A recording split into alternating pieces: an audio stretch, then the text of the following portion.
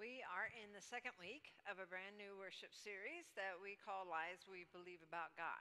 And we named that series that because it's directly from the book that William Paul Young wrote called Lies We Believe About God. And we are, have invited Paul Young to be with us in September as one of our Center for Faith Studies speakers. And um, we are hoping that as we read this book together and talk about it in these four weeks, that we'll have a better understanding of some of the conversation that he's about, um, how he addresses some of his issues, and it will help us be in conversation with him more fully in September when he comes to visit us personally. Um, we have uh, known Paul Young uh, through the community in several different books that he has written prior to this one. One of the ones that is most popular in his repertoire is The Shack. How many of you have read The Shack? Okay, well, uh, a lot of the stories that are in this Lies We Believe About God, um, he uses some of the imagery from the book The Shack in order to talk about how he applies some of that stuff in his everyday life. And what he talks about are these lies that we carry around, lies being misconceptions of ideas about God, ideas about ourselves, things that get in the way, really, of us having relationships with ourselves and with God. And so uh, we're looking at ways that we can maybe shift the narrative just a bit to be able to think about things in a new way and let go of some of those things that stand as barriers to our relationships. So uh, last week we talked about hell. How many of you remember that there is no hell? Do you all remember that? so there is a hell. If you've ever been there, you know it, right? Um, but there is not necessarily the hell that we've always perceived since our childhood or how the, our religion has always taught us about hell. So, getting uh, a new uh, thought or a new idea behind the whole concept of hell and how it works was the uh, kind of focus of last week's sermon. This week, we're going to be talking about this lie that says God loves us but doesn't like us. How many of you feel that way most of the time, or at least some of the time? Huh? Where we compartmentalize the difference between love and like and God's ability to do that. This is the very first vignette, the very first story in Paul's book. So you'll find it in chapter one if you're following along, and you'll get a little bit more background. Now, if any of you have ever been in a class that I've taught here at Countryside, or part of a small group that I've been a part of, or, or even uh, the children who are in the Sunday school of, you know, when I first started, I, we, I started working with the curriculum committee, and the only thing I said every single week when we were tar- starting to write curriculum, when we were looking at scripture, the first and only question I would ever ask is, What is God doing? Right? That is the only question I ask, whether it's a story that we're reading, whether it's an experience in our lives, whether it's something that we're facing personally, a tragedy, or even a celebration. Um, all those things, it seems to me that the number one question is always going to be, What is God doing? And for me, that's very foundational because as I'm reading my scripture, as I'm experiencing my own personal relationship with God, I'm realizing that God created all things, right? And as God creates all things, God participates with all things. And in that participation is continual creation into even more things. All right? So all that is is part of God, and God created it all and participates in it. Uh, we can say that that continual creation is what establishes that whole relationship of love in the world. That continual creation is love in the world. It's always moving what is towards something good. It's always continually taking whatever we put out there and moving it toward good, creating something new out of it so that it is good. Because when God looks at creation each and every day in Genesis, God says, it is good, right? That's love. That continual creation of God in the world, participating with the world, is God's love. And that's what drives everything. So the good news in all that is not that God is love or that God is continually creating. That is who God is. That is how God works in the world. So we're constantly looking for that activity when we're reading scripture, when we're experiencing life.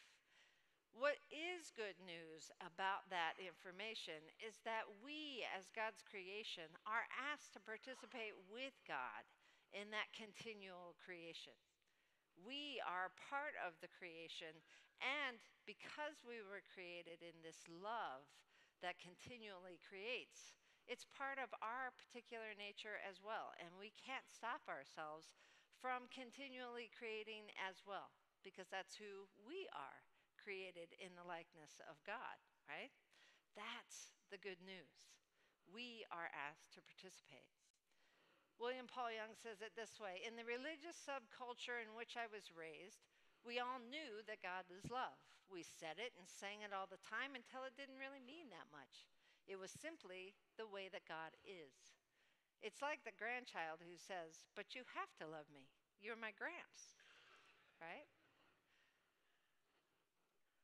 So, what is it about this whole uh, letter to the Corinthians that Paul is, is writing back to the Corinthians that Jan just read for us. The whole 13th chapter is one of the most read parts of the Bible in all things, right? Because it talks about love, it talks about God acting in love in the world.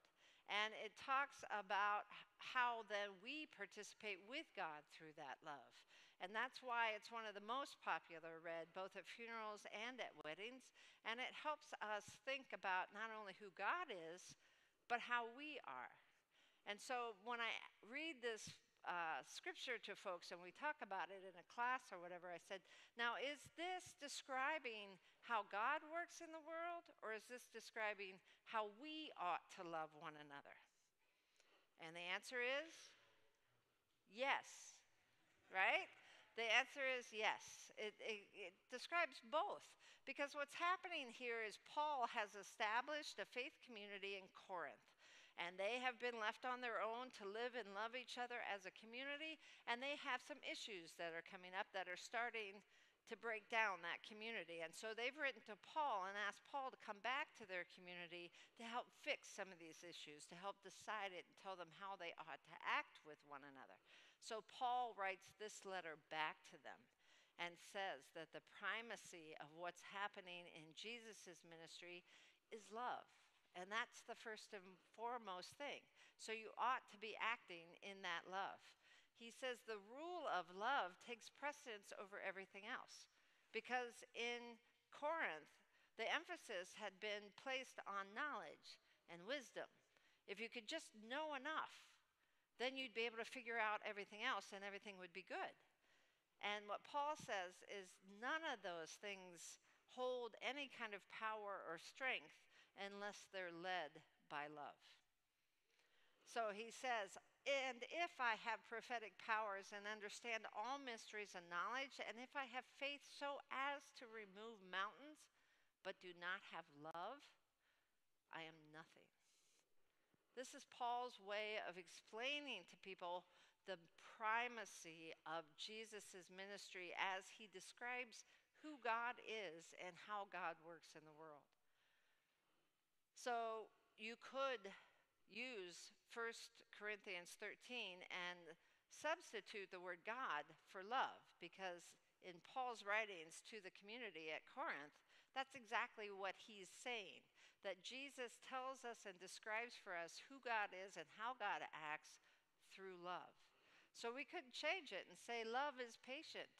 God is patient. God is kind. God is love, not envious or boastful or arrogant or rude. God does not insist on God's own way. That's next week's sermon. And God is not irritable or resentful. It does not rejoice in wrongdoing, but rejoices in truth. God bears all things, believes all things, hopes all things, endures all things. God never ends. God and love in the world is that continual creation and reconciling of everything that is toward good. That's love. And we are asked to participate in that as a creation out of that love.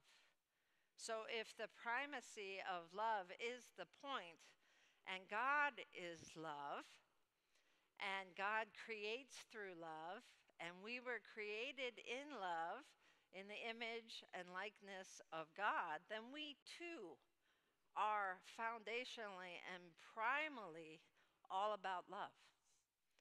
So that's what we're doing with our lives, right? Every decision we make, every word that comes out of our mouth, every relationship we have with one another, it's all based on God's love, right?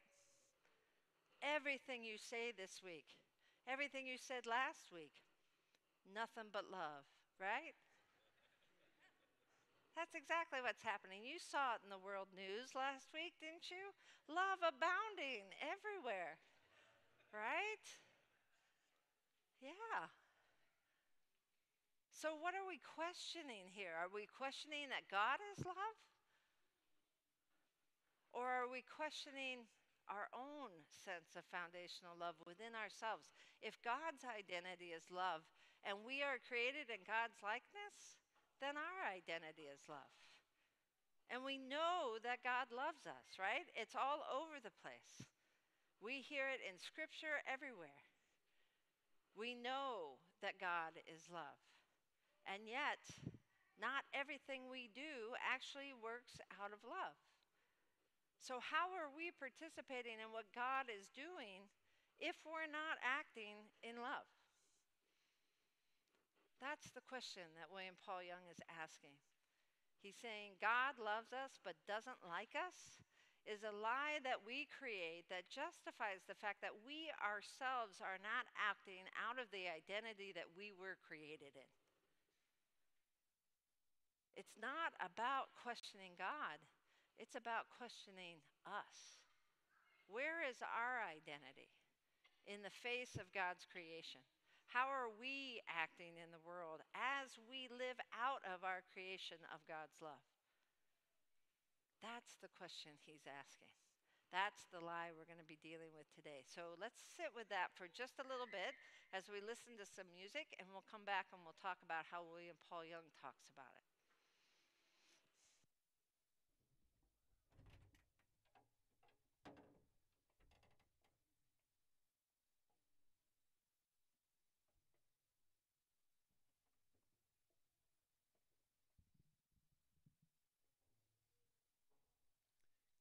My friends.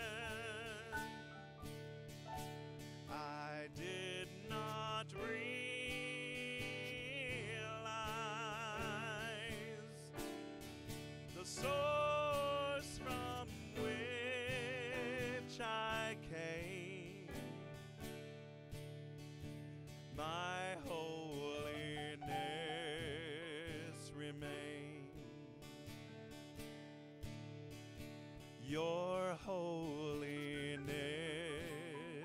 remains. All the mistakes we made are simply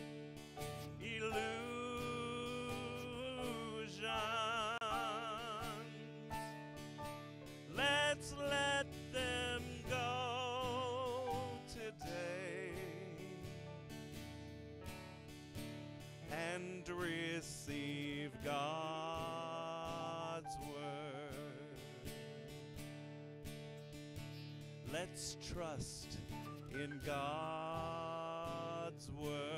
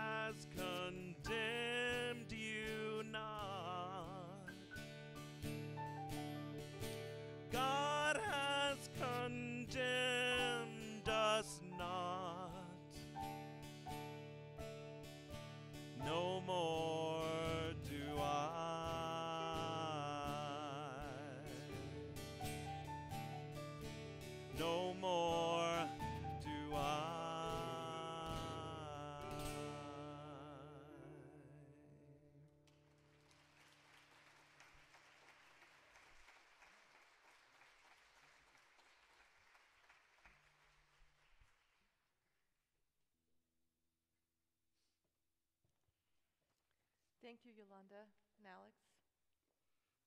Our second scripture is from the book of Luke, chapter 15. Now all the tax collectors and sinners were coming near to listen to him, and the Pharisees and the scribes were grumbling and saying, This fellow welcomes sinners and eats with them. So he told them this parable Which one of you, having a hundred sheep and losing one of them, does not leave the 99 in the wilderness and go after the one that is lost until he finds it. When he has found it, he lays it on his shoulder and rejoices. And when he comes home, he calls together his friends and neighbors, saying to them, Rejoice with me, for I have found my sheep that was lost.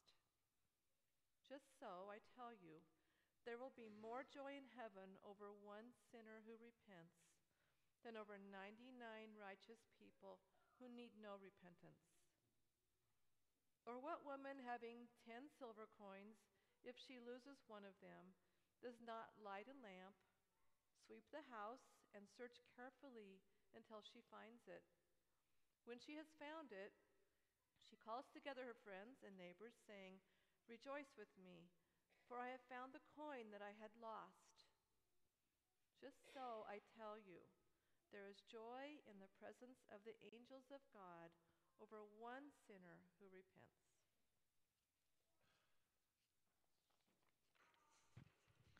So I forgot to introduce Reverend Yolanda Mapes, who is here with us today as our special guest uh, for a revival last night where she gave her testimony and sang for us and thrilled all of us and got us all up on our feet and clapping along and all that stuff. So we want to especially welcome.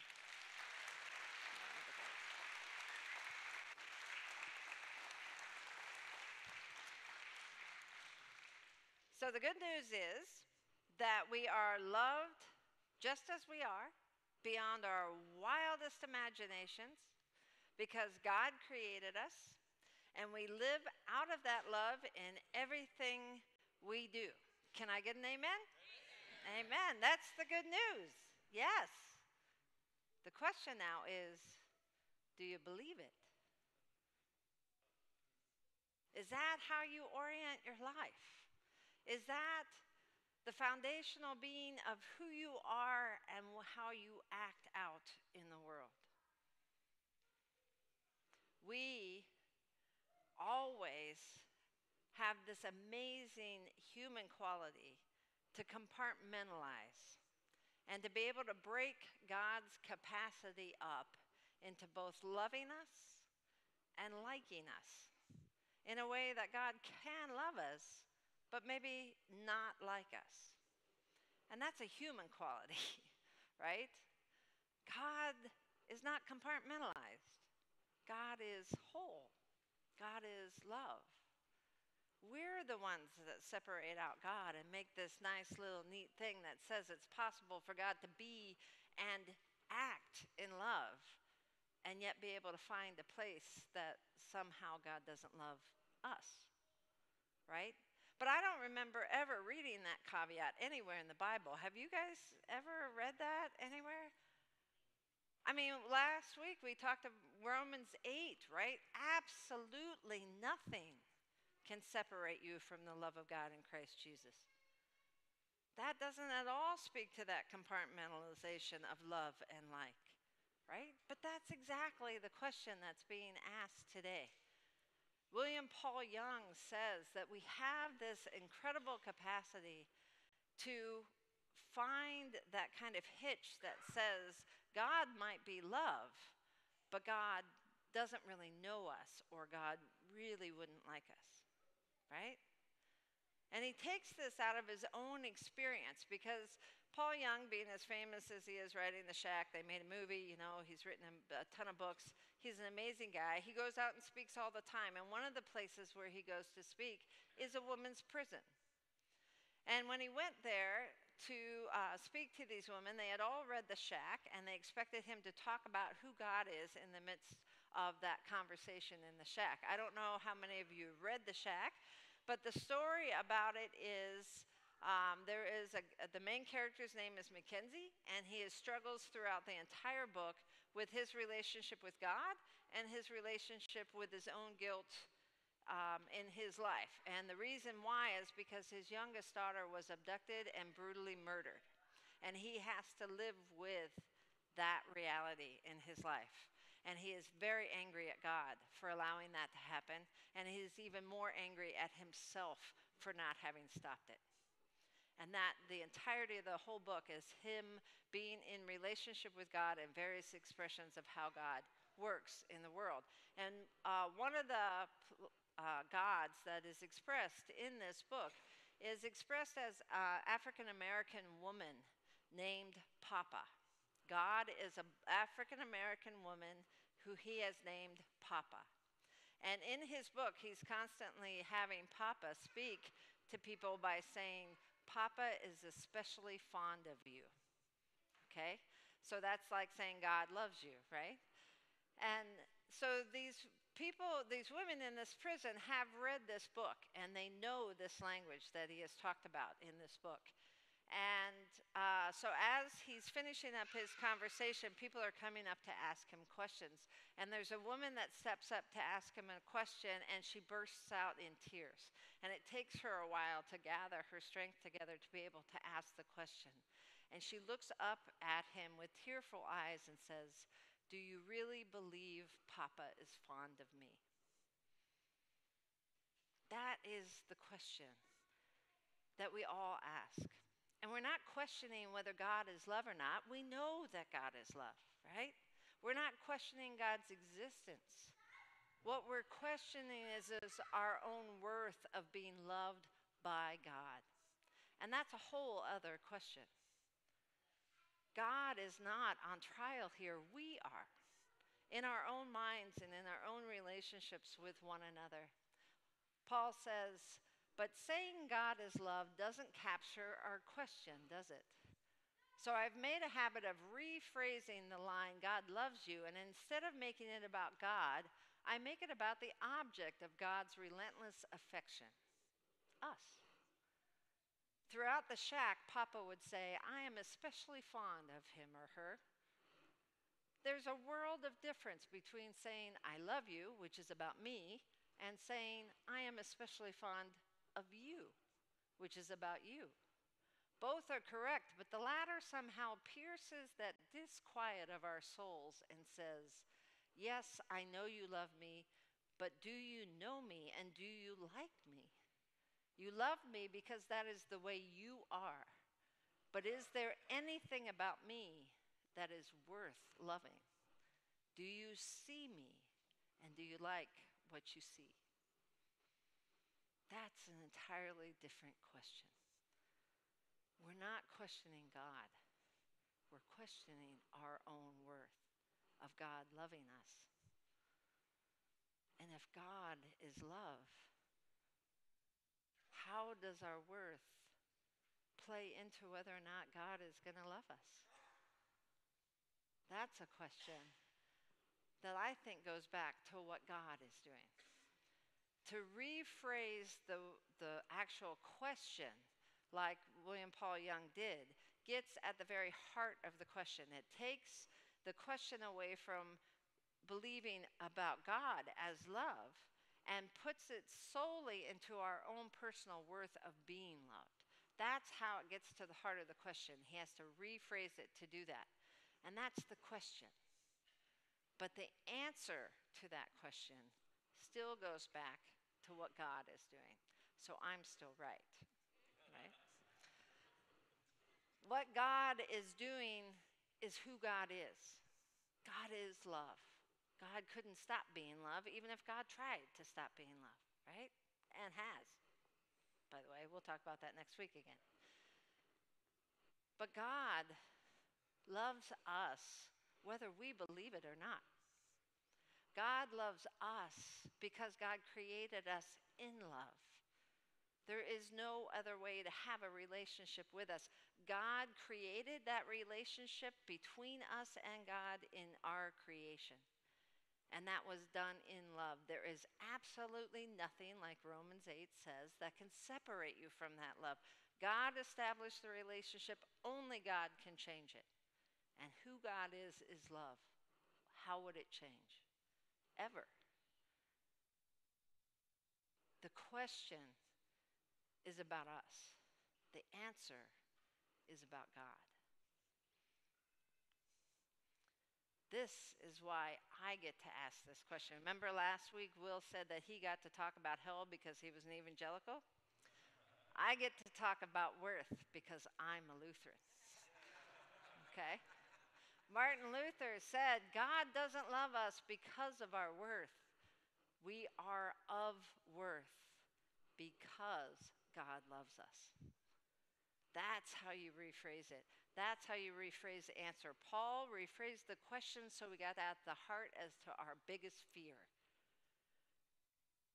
I rephrased the answer so that you see it's not about you, it's about God. It's about what God is doing in the world and whether or not we choose to participate in that. The only thing that our disbelief stops is ourselves. It doesn't stop God from loving us, it stops us from participating in that love.